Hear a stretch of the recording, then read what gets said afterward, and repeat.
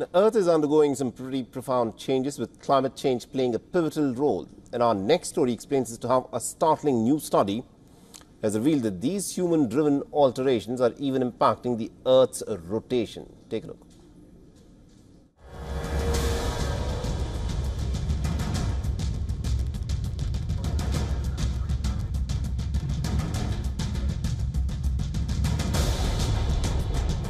Picture Earth as a colossal gyroscope spinning through space with a precision that has been largely unchanged for millennia.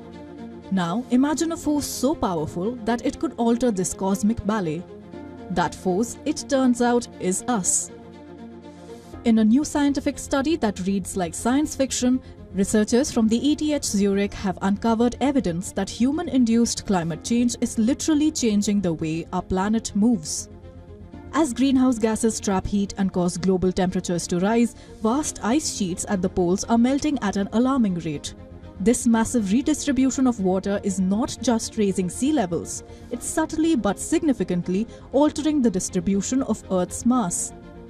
While the moon's tidal friction has traditionally been the main factor lengthening Earth's days, the researchers found that if greenhouse gas emissions continued unabated, climate change could surpass the moon's influence. The consequences are as profound as they are unexpected. Redistribution of Earth's mass is increasing our planet's movement of inertia.